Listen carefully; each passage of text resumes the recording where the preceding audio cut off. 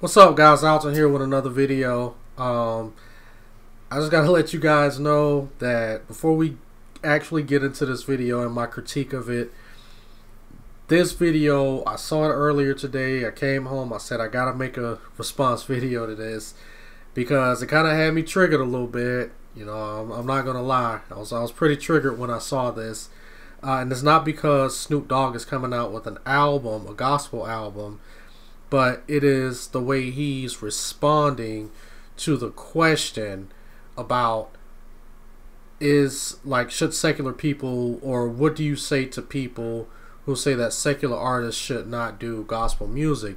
So we're gonna do just like we always do. We're gonna get into this video break it down talk about it discuss it and come from a biblical standpoint so without further ado, let's just go ahead and get right into the video. What do you say to people that don't like the idea of a secular artist coming into gospel music? Well, the devil is a lie. I thought church was supposed to welcome sinners. Well, first of all, Snoop Dogg, I'm sorry to say, but you actually thought wrong. And by saying the devil is a lie, that's something that we know that is that was just constructed within a black church that phrase, the devil is a lie, that's not found in the Bible. Um, but it does say that the devil is a liar. And from my perspective, the devil has lied to anyone who believes that the church is supposed to be this come one, come all.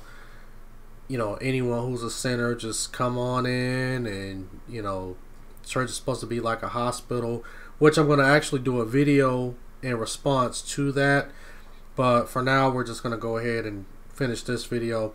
But as I digress, church is not some place where it's come one, come all.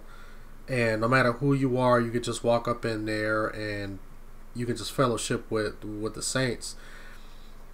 The church is for people who take the faith seriously. Okay, it's for Christians who come together who have dedicated their lives to serving Christ and they come together as a family.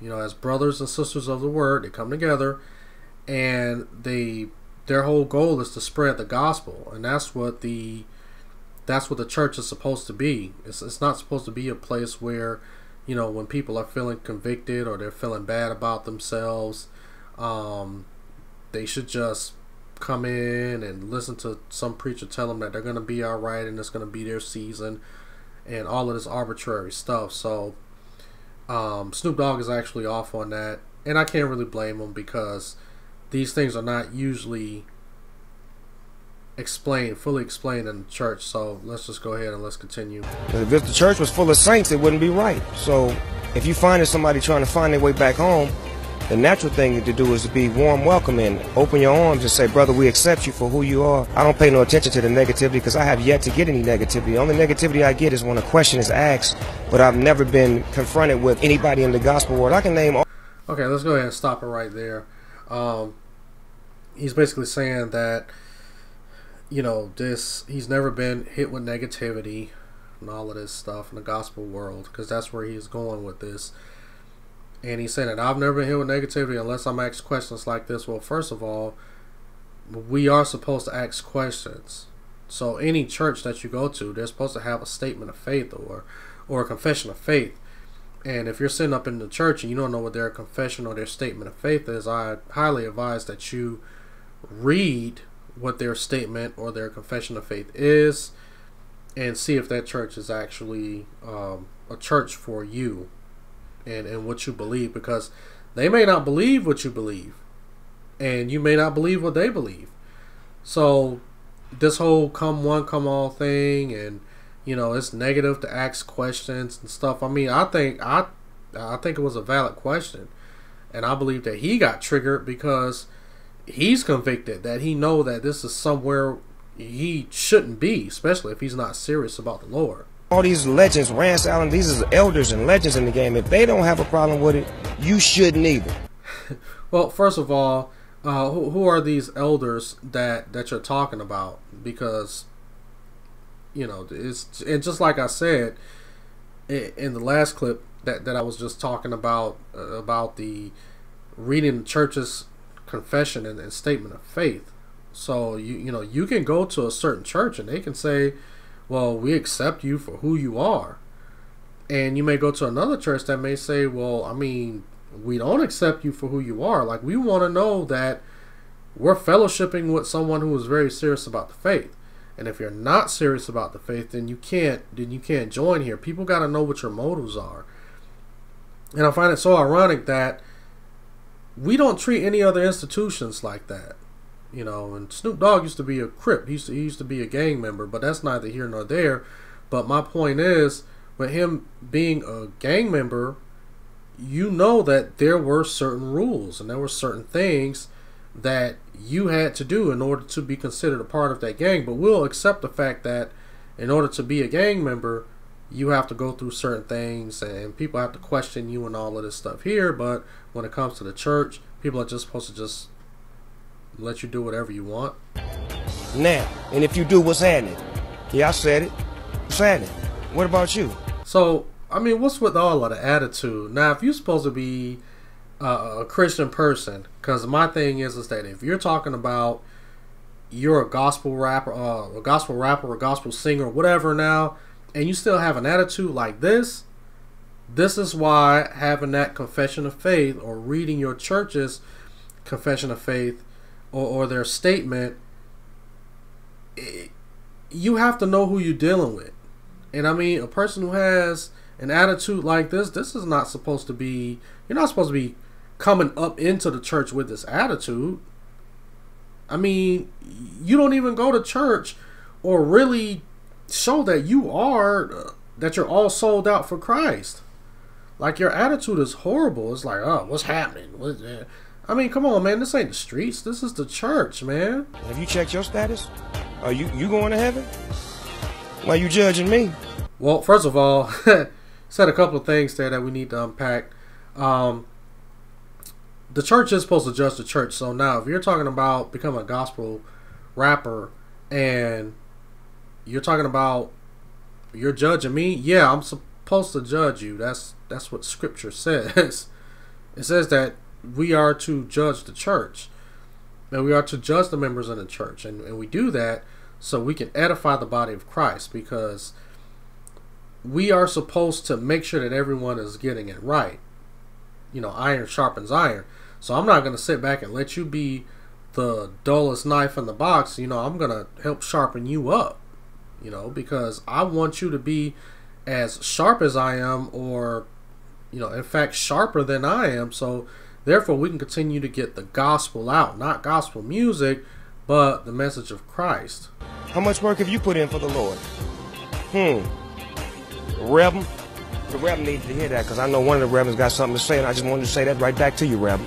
Now I'm doing this video, and I just want to let you guys know I don't know who he's talking about because if it if I knew, I would have added that clip into this into this video. But this wasn't a video that I just had prepared. It wasn't something that I've been thinking about all week. So this was something that I saw literally maybe like five or six hours ago. And soon as I got home, I said I'm just gonna go ahead and make this video, and that's what I'm doing now. But if you do have someone who is a reverend or an elder in the church, then that person is supposed to correct and and reprove you.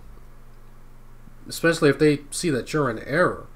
So I mean just like Snoop Dogg said earlier, he says, you know, these other elders and these other pastors don't have a problem with him, but now all of a sudden you're upset because another elder or pastor of a church has a problem with what you're doing, but you guys are supposed to speak to each other in private and try to hash it out. But like I said, that, that's neither here nor there. And let, us just go ahead and, and finish this up. Praise God. Okay, so basically, guys, that's just the end of the video. Uh, forgot for you guys who are not familiar with the BET Stellar Awards, and apparently they were at the BET Stellar Awards, and this is a thing that BET does, I think, every year, And if I'm not mistaken, it's supposed to be like this award show for, you know, just you know, like gospel singers and stuff like that. Now, my takeaway from this video, and I'm just gonna be honest and I'm just gonna keep it real. We all know that Snoop Dogg's career has not been the best. All right. We all know that Snoop Dogg's career has kind of been on on a decline, and and I say that because not because I'm hating on him, but it's it's just fact. And you know, here here he is. He's almost 50 years old, and you you can't keep rapping about certain things. And with the music changing so rapidly now, you know, you got the mumble rappers and all of this stuff that's going on. Um, of course, you know Snoop Dogg is not going. He can't get into that. So I think he's now trying his hand at gospel. Now, before he tried his hand at gospel, um, he was doing reggae. He called himself Snoop Lion, and he was, you know, he, and he claimed that he was on this spiritual spiritual search, and he went to Jamaica and all of this stuff here and smoking all of this weed, trying to connect with ancestors and all of this just crazy stuff. And then we all know about his whole rap career, how he was just label to label, um, doing this, doing that, and then there was a uh, there was even a point where he was even trying to do country music. So Snoop Dogg has been all over the place, and you know one thing I'm gonna say is that you know if you're a hustler and that's what you do, and you have all of these different interests, I mean, that's fine. You know, you can be interested in, in whatever you want to be interested in. But when it comes to the church, the church is something serious. Okay, because I know a lot of people are going to watch this video and they're going to say, well, you don't know what God has for for Snoop Dogg and, you know, and maybe he's going to use Snoop Dogg to preach the gospel and get the gospel out there. It's like, no, we, I mean, we have to be discerning, and we all know that we can all tell a tree from the fruit that it bears. And Snoop Dogg is not bearing a fruit of a true follower of Christ. And I mean, and if you say that he is, and I highly recommend that you read your Bible, um, because even Jesus said it himself. He said, "Not everyone who comes to me saying, Lord, Lord, will enter the kingdom of God. Uh, only the one who does the will of my Father." So basically, he's telling you right then and there that just because you say Lord, Lord, that doesn't mean that you're automatically going to heaven and that you're going to be with Him. So it's like, it's like, come on. We have to start being more serious about the church. I mean, we really do. As Christians, we have to start being more and more serious about who we're letting into the church and who we're praising. And I wouldn't say just letting into the church, but praising. Because we all know that the black church, and, and I'm just going to be honest with you guys, um, the black church has, has really kind of missed the mark within the past, I'll probably say past 30 years. You know, it's, like I said in my video, addressing the foolishness in the black church, the church has, the black church in particular, has become a sideshow and we know it. And I think that it's because, just to put it out there, black Christians are some of the most naive people on the planet. And I'm sorry to say that. I may come across a little harsh, but but just statistic wise, black people, black Christians are some of the most naive people on the planet. And I don't think that they're doing it. I'm not saying that maliciously, but I'm saying that just to kind of bring people aware or make people aware of that because it just seems like anyone who says you know i'm a christian and you know i serve god it's like they're like okay whatever you know we'll add you um, we'll check you off as a christian you know we just want to save souls and it's not about saving souls because you can't save souls it's only the holy spirit that is able to draw people onto Christ. So it's not it's not something that you do. We're we're supposed to be spreading the gospel.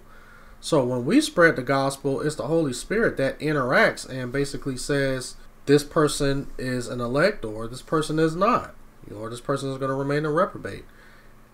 And right now, to be honest with you, I believe that Snoop Dogg is only doing this because he want to try to keep his money come. He want to try to keep his money going.